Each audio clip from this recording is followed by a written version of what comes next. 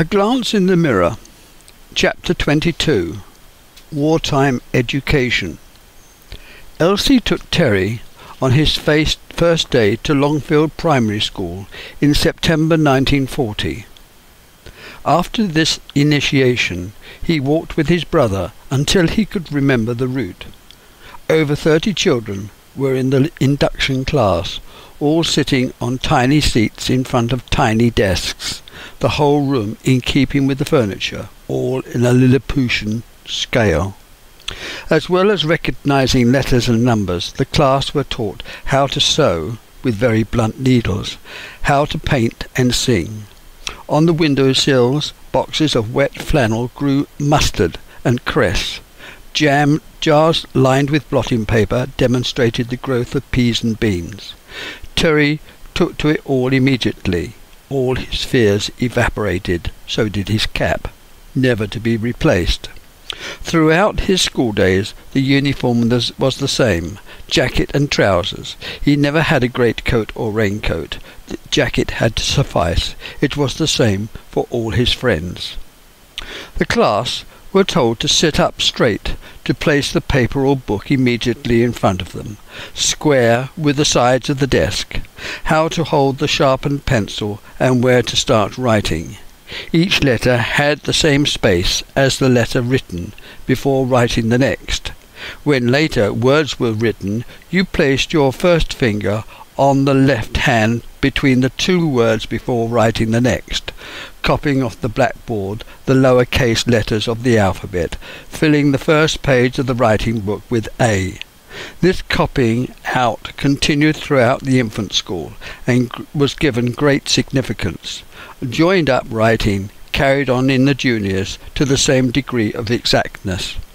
Individualism wasn't acceptable. The up and down strokes were to be on top of each other. Loops were banned. Each generation seemed to have their own preferences in letter writing form, with, the, with, with or without loops, continuing without space from the lower case to capitals. More paper covered, more notebooks used, row upon row of individual letters, repeating page after page, all designed to perfect, perfect the handwriting. Phonetics applied to every letter to standardize the spoken word. Great emphasis was laid on speaking the King's English. Another daily task was repeating multiplication tables by rote in a sing-song fashion every morning. On and on and on. It passed a great deal of time, only to be interrupted by the air raid warnings. Music was taught using visual aids, tonic solfa draped over the blackboard. Music pieces played on a wind-up record player and the tune picked out on the piano. A demonstration of variations within the piece, the time rapped out on the desk with a ruler. Music increasingly became an important part of the curriculum. This was due to the government's recognition that it was impor- an important discipline which could be transferred to all other subjects. Posters decorated the walls with multiplication tables, nursery rhymes, and a nature scroll. There were painting lessons, highly coloured daubs with an almost hairless brush, reading Janet and John type books, fingers running along the page as each child was trying to read in turn. The school's air raid shelters were installed in 1940. They were large concrete pipes originally made for enclosing streams or sewers, about six foot in diameter, sunk into trenches in the ground. A bomb-proof entrance and exit, steps built up at either end when the whole lot was covered in 18 inches of soil and then turfed over. Duckboards covered the floors and slatted forms provided seating at the sides. They were dimly lit, smelly, cold, and damp, and when the sirens sounded, the children left their classes and streamed to the shelters, each class having their own place. Few lessons were taught or even attempted to be taught. The children sang many songs in the round, took part in general knowledge quizzes, and using the cotton reel with four small nails over which wool was looped, French knitting was produced. Eventually a long knitted tail was made which was sewn together to make a round mat. In turn could be further stitched together to make a rug. Wrapping wool round a cardboard ring with a hole cut into the centre was another craze. You continued threading wool round and round from the outside into the centre until the centre was totally filled up with wool. The outside edges were cut, the cardboard removed, producing a ball of wool. Infant school days consisted of many such air raids, which meant going down to the shelters where teachers tried to occupy the children by keeping them entertained. Elsie's children, Stan and Terry, were at Longfield Primary School. The class sizes in 1938-39 were between 25 to 30 children. The first class was the introduction class. A further three classes held a year difference between each. Similarly, upstairs, the junior school operated, operated the same class structure, years 8 to 9, 9 to 10 and 10 to 11. The schools had been built at the same time as the rest of the town, displaying the then modern style. Brick walls, metal framed windows and a flat roof. All the furniture and equipment was new. The new secondary education system followed the then pattern voiced in the 30s that there should be different schools for different abilities and the children tested to decide which school system at the age of 11. All the children had their own gas masks in a square cardboard box equipped with a string shoulder strap. They had to line up at school and be taught how to put them on, take them off, and what they felt like whilst doing some light exercise with them on. Very soon, after the masks were issued, the Battle of Britain was fought. The fear of enemy troops landing diminished after Germany went to war with Russia. We were told gas masks need not be carried any longer, but must be kept near to hand, so that they were consigned to the cupboard under the stairs and never be got out again. Government propaganda abounded, using every form of media, making the population aware of the seriousness of the national position, that everyone should be prepared to do their best for the country and for those fighting abroad. Although adult conversation was about the war, children did not participate. Their talk was about the latest film from Hollywood, the latest action in the Beano Dandy or comic cuts, some sporting event, train number, or swapped cigarette card. For life went on as if nothing had changed. As children, they never noticed or commanded on the lack of commented on the lack of men that used to be walking in the streets, that the shops and town streets were only populated by women. If boys dressed up to play, it was as cowboys or Indians, certainly not as Germans. The Hollywood films had a far greater influence. Radio news programs were highly censored, giving a report on the war's progress in line with the government's plans. Newspapers took their line from a similar agency, keeping in mind the necessity for keeping up morale. Everything was said and done to help the country's war effort. Programs such as Wilfred Pickle's Have a Go Joe, Tommy Handley's ITMA, Workers' Playtime or Bombed Out were written to raise the national nation's spirits. Charles Hill, the radio doctor, had far more airtime than any minister. The period of the Blitz was over. The Germans, before putting Operation Sea Lion into action, the invasion of Britain, planned to put Britain's airfields and radar stations out of action appreciating the need to smash our Air Force and its guidance systems. The RAF attacked the German bombers, forcing the German Luftwaffe to keep a large fighter escort. The raids on London continued, further draining Germany's resources, but most of all relieving the pressure on Britain's fighter airfields and radar installations. Eventually Hitler, Hitler put off all through the invasion uh, instead marched into Russia, and this heralded the end of the Blitz, particularly those raids towards inland sites. The school shelters fell into disrepair. The boys watched from their parents' windows uh, London ablaze. The air raid sirens would start their interrupting, pulsating wail that told you to take cover. Approaching bombers were within range. The searchlight batteries would illuminate the night sky, flickering their beams of light about in a haphazard trying to, way, trying to locate the planes. The interrupted drone of the unsynchronized engines of the German bombers punctuated the night.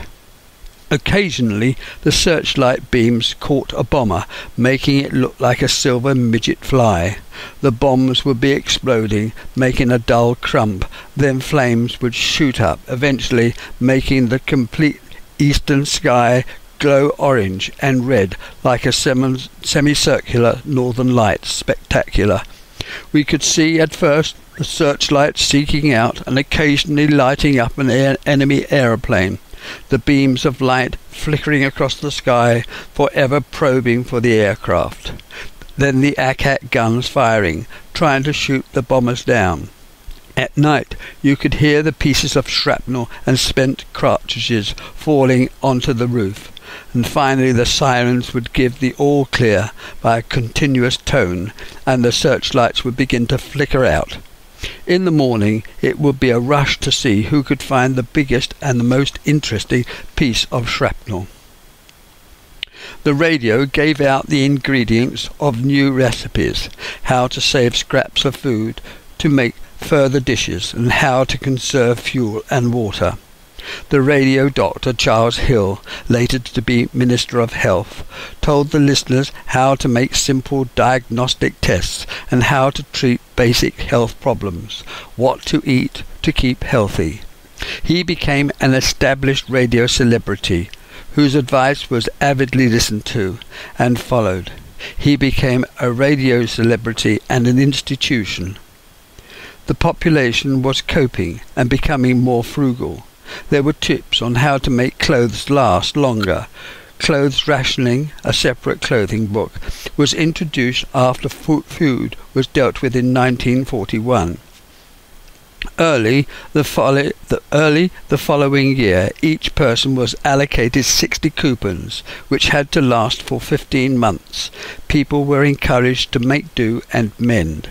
The government introduced the utility scheme designed to save material and much later this scheme involved all household goods and brought about the utility kite mark.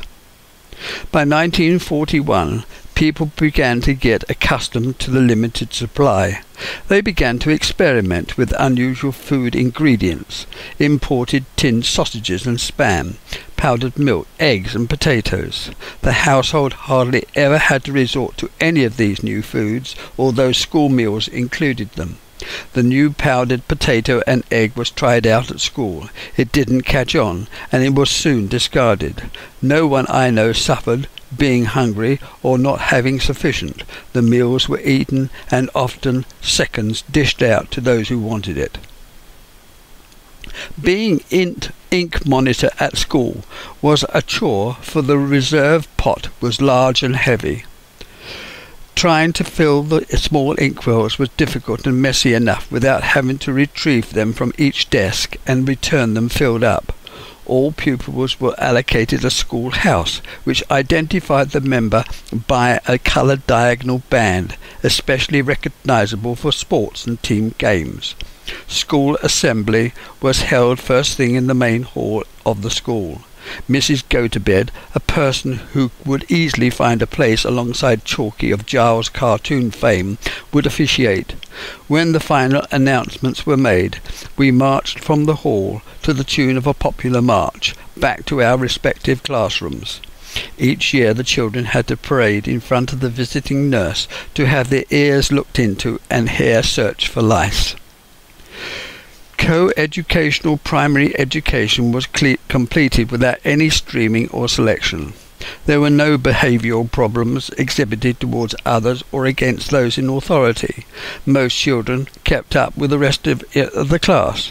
There were few tests, and the annual examination was internally examined. On Empire Day, the children were allowed to go to school in cub or brownie uniform. The Union Jack was flown on the flagpole and the national anthem sung.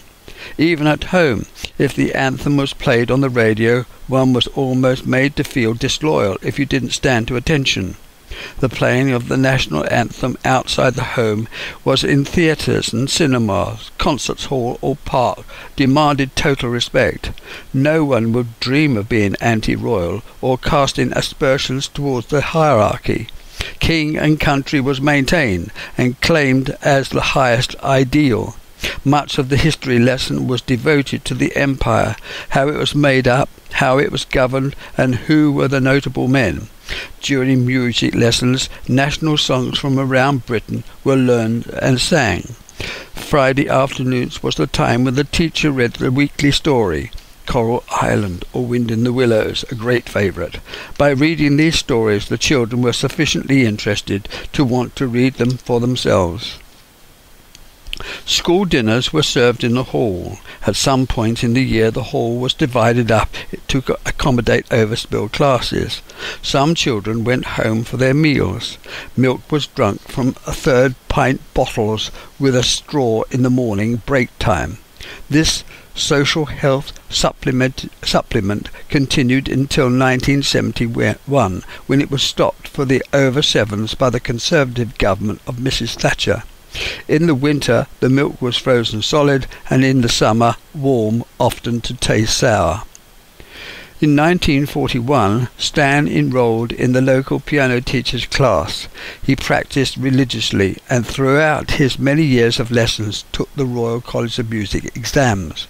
Two years later, father asked Terry if he would like to learn too. To this he replied, no, keeping to myself that he didn't want to spend all this time practicing whilst friends were outside having fun. Bert was not insistent. He knew that if Terry didn't want to learn, he would not have to spend the fees. One of Stan's great wheezes, it may have come from stories during the war or through the scouts, whatever, his idea was that we should build an aerial ropeway from the bedroom window to the garden. The only rope long enough was the washing line, and this was secretly taken from its pole close to the fence and sneaked up to the bedroom, making sure that their mother didn't realize what was going on. The rope was stuffed up Terry's jumper. The bedroom window was flung wide open, one end of the washing line tied to one of the iron bedstead legs, paid out over the window sill, and the spare dropped to the ground. They casually went downstairs, out into the backyard, and using the mangle as an anchor, tied the spare end to it and drew the rope tight. Back they went upstairs to begin their descent, and Stan, being the organizer and senior, elected to descend first. There were, other than the poor quality of the rope, two main essentials to the success of this escapade. One, the need for the rope to be tied firmly at the top, and two, that the bottom is also firmly anchored to prevent swing. Allow the descending person to slide instead of to fall. The architect who designed the house believed that a semblance of balance was necessary in, the, in his design. The doors and windows were in alignment, vertically and horizontally. Beneath the bedroom window were the French doors. After clambering out onto the sill, Stan gradually descended. It was here that the first safety feature was missing. The bed took up the strain. Their bedroom never had a carpet, but relied upon linoleum to offer a taste of luxury. The floor surface did not allow sufficient grip. The bed gradually slid towards the window. Perhaps if the second principle of safety had been accomplished, success might have been achieved. There again, if Terry had been strong enough to draw up the slack, there may have, that may have sufficed. Unfortunately, neither principle was met. The mangle, though of ancient lineage, still had the casters attached, and these were we found to be necessary for them to move the mangle to the other end of the yard. But as an anchorage they proved less than favourable, and this is where, had there been complete reliance upon total grip, to use the expression much used by General Montgomery, help may have been to hand. It wasn't. The mangle started to move towards the French windows, and the rope slackened. Stan, wishing to stop the rope from spinning and to give some semblance of order to his descent, pushed out his foot, which found purchase on the main French window, which gave way under pressure. Without going into too many details, Stan landed in a heap on the ground via the mangle. Elsie now took a greater interest in the proceedings and flew out of the kitchen. She didn't have to say that she could tell our father what we had been up to, for the results of our labours were obvious. It was normal for Terry to meet father at the railway station every evening. It was on their walks back home that Terry was able to get in his side of every the story of every issue straight before any nasty rumours were broadcast later on. In this case, it was to no avail, and even though the brothers took to the beech tree, Albert meant to have his say with the cane. Terry never enjoyed being up that tree, looking down on his father stalking about at the bottom with a strap or cane. Time was not always a good healer, and a visit to the doctor was never a pleasant pastime. The family doctor had his surgery up Pinner Road, just past the small line of shops. Dr. Mayer was a large-framed, loose-limbed uh, Irishman who hardly ever moved from his swivel chair. His waiting room, to the left of the front door, was entered from a small hall. A small sign directed the patient to enter. As soon as you opened the waiting room door, a number of piercing eyes greeted you. Some appeared over newspapers, others myopically through glasses. The women present looked up from their knitting all were not all hostile, but mostly certainly wary. You may be, after all, bringing in some ghastly disease. There was no means of knowing who was the last to enter. To know your place in the queue, you had to recognize all who were in there at the time you entered, and then using elimination, or, if you were bold, you just asked. It was very rare for this to happen. It certainly created uncertainty, which contributed to its own degree of nervous anxiety, overlaying your already weakened state of health. This nervous atmosphere partly explains the anxious, piercing glances when you first arrived. There was only one seat available, next to a rather fat boy with glasses, who sniffed repeatedly, judging each sniff to a nicety to prevent total embarrassment. It was the only source of real entertainment, and either caused the, the onlooker to feel more sick or drove them out of the room. The ill-hung lace curtains behind full-length blackout curtains covered the bay windows. The glass, crisscrossed with brown paper tape to prevent bomb blast, allowed very little light into the poorly lit room. Peeling posters and scuffed linoleum did nothing to entice the visitor to linger. The kitchen chairs ranged round the sides of the bleak room, allowed a, the group of coughing and sneezing patients to examine each other carefully over their magazines. Each scrutinized carefully for signs of infectious disease or distressing habit. In the center of a room, in the room, a green baize tablecloth covered the circular table which held a pile of ancient magazines. These gave only limited distraction to the desperate company of men wanting a chit to enable them to take time off work, women who needed someone to take an interest in their nervous condition, and children to obtain a school absentee note. Posters advertised the horrors of measles, mumps, and TB. The government's latest warnings, showing an owl situated silhouetted against a yellow moon, declared talk cost lives, the only cheerful decoration. The low wattage bulb, its illuminate quality severely restricted by a fringed coolie hat shade, attempted to offer some much needed light. The wartime patients, as they waited to act on the summons of the piercing bell, held themselves in readiness. The shrill call caused a response, some to almost fall off their seats, others to stand only to sit down again as someone else beat them to the door. A third who nervously twitched and shook in response to the clamour. The rattling striker of the distressed bell emitted, emitted a throttled bring. The assembled company came to life, their hearts pounding. The next patient, checking his position in the order of entry, lurched to his feet. Placing his magazine carefully on the table, attempted to leave the room unseen and unheard, his trailing scarf dragging on the floor. Knocking briefly on the consulting room door, a muffled come in allowed the next in line to enter. The scene was one of chaos.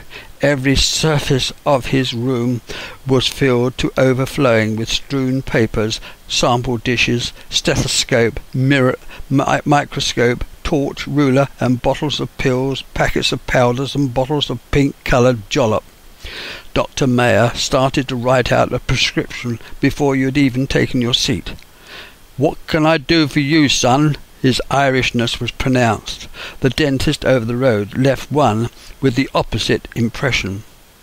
The dentist, Mr. Hudson, was the very antithesis of Dr. Mayer, for he was short, erect, and slim, quick of action and slow to rile. He operated a belt-driven drill with the dexterity of a diamond cutter. Its rotating belt spun round as the coarse drill ground in. Today, the revolutions per minute would admirably suit drilling through brickwork.